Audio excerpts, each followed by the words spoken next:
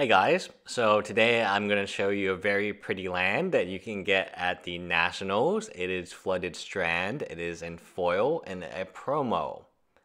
So if you play at Nationals, everyone gets one, and you also get one if you play at side events.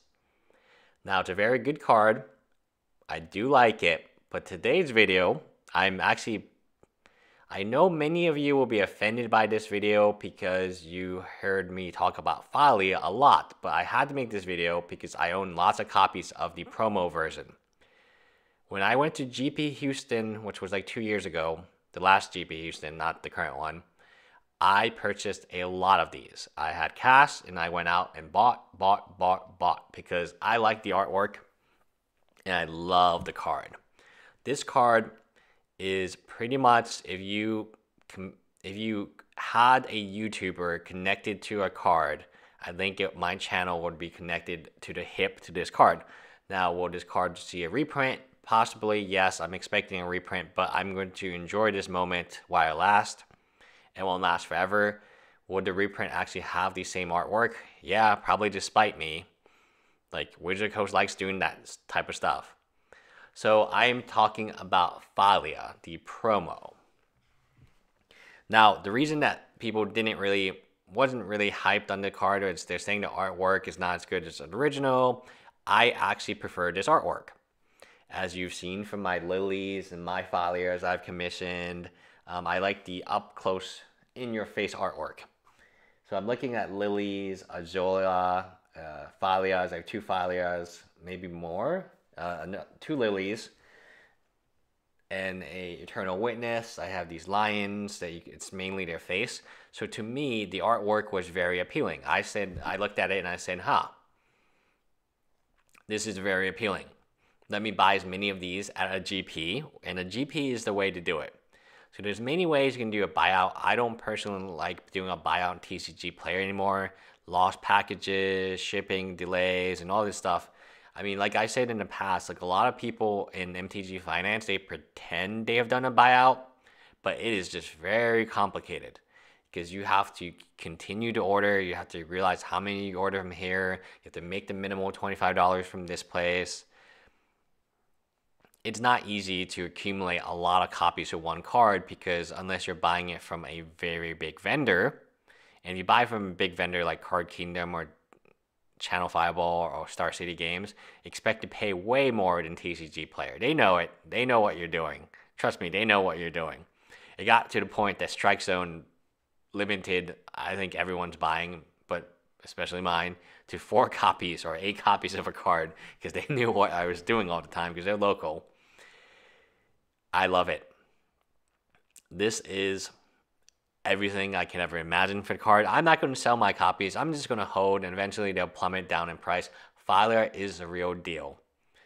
From the very beginning of my old channel, New Law Student, to this channel, it's Thalia, Thalia, Thalia. It is Princess Thalia is one, one, one, one, one, and she's fine. I mean, if every anyone who's watched this channel knows that this is my favorite speculation for ever since she has rotated out there's so many reasons I like her, but if I were to be completely honest, it's one of those cards that like you played with and you knew was good, but no one else played it because they were playing Delver, they were playing. Okay, what was the other one? Affinity. So I think Affinity went into Delver, and those are the two builds. I don't remember what the set before, and I think it was Scars of Mirrodin. Yeah, it was Scars of Mirrodin because you had the Seachrome Coast into the Delver. So you had Delver and Geist, and you had zombies, and you had other stuff. Red deck wins always, but I always played Thalia in every single deck. I just thought she was the best card.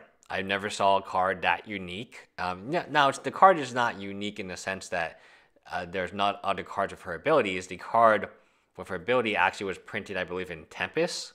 Um, so there is a rare that does exactly what she does for the same mana cost but not a creature. And I knew that made a big difference because she could go aggro. So the perfect storm was I love this picture. I was at GP Houston. I had a bunch of cash. If you were at GP Houston with me, you probably knew at that time I had accumulated a lot of cash because I was selling lots of cards. as two years ago, or that was last GP Houston, and I wanted to put the cash into a card. And this card had recently came out. I forget how recent it was, but it was pretty recent. It was not. Uh, there was a large supply of this out in GP Houston at the time. Yeah, I loved it. I loved it. I loved her. Let me figure out when did this come. Fire promo. Fire promo. Because it is quite interesting uh, to see Star City games. No one else, no one has this in stock anymore. All the Fires are out of stock. This one used to be 70. Oh, okay. You can get a Korean Fire foil for 120. Uh, okay, Fire is 20 bucks near mint and out of stock.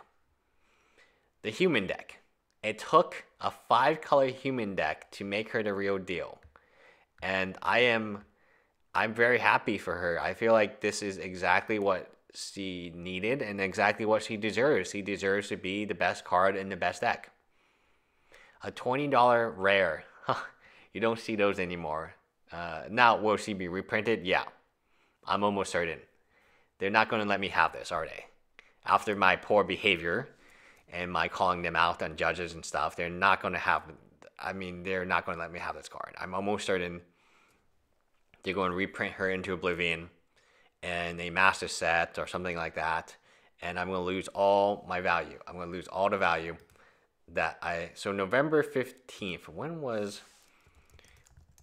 So I'm trying to figure out why there were so many copies of her at GP Houston.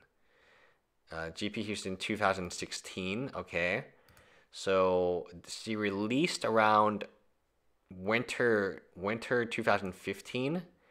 GP Houston was when was GP Houston? No date. Houston 2016. So, but how early was 2000? Was it early 2016? Is that why there were so many copies of her? Um, oh, February 29th, 2016. So, yeah, that is, it was the perfect storm. A card I loved with the, a, I consider a premium artwork. Many people didn't like the artwork.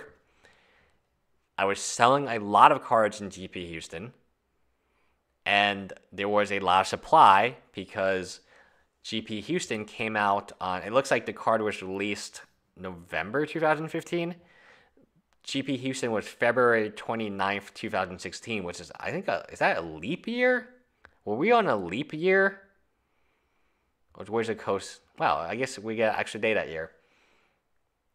Okay, February tw- uh, 28th was the top eight deck list, uh, 29th. Yeah, that makes sense. So it was literally the perfect storm of buying opportunities and I couldn't ask for a better buy-in than a actual GP where people had so many copies of this card. It was just pretty ridiculous. Which will get me into the last card, which is the Flooded Strand. Um, if you're fortunate enough to go to Nationals, I know this Flooded Strand is going to be valuable one day, if it's not originally valuable. It has all the markings of a Thalia, like all of them. Now, will the other promos come along so then it makes sense? Maybe, but blue white foil promo land. Hmm. I just know. I just know. I can't even. I mean, it's so obvious to me. It might be obvious to you guys and may not be obvious to everybody, but I look at that flooded strand. I say to myself, if Thalia can get up to the amounts he got up to, which you can argue is 340 or 120. You can argue what it is. I don't really care, but it has quadrupled, more than quadrupled in price. Then any card can do it if it's good enough. Flood Strand is by far good enough. So I can imagine there's still MTG Finance is so different nowadays. It's not the same. You have to actually just you have to take higher risk. So the card, the price you're buying these cards, the one thing I didn't like, the only thing I didn't like about that Thalia was her price point was much higher, much much higher than a original Thalia, and I didn't know if I could collect her. So the only time I ever purchased her, I believe, was at GP Houston. I made a purchase a few copies here and there to get to 25 bucks or more to get my free shipping, but not in the quantities I did at that place. C was it. I mean, C was my favorite card of all time. I'm not going to sell her. I'm going to keep her. And I know she'll be reprinted. I know the price will go down, but I just wanted to have this single moment in time where everything lined up and I was able to buy her at such a good price. Anyway, that is it. Bye, guys.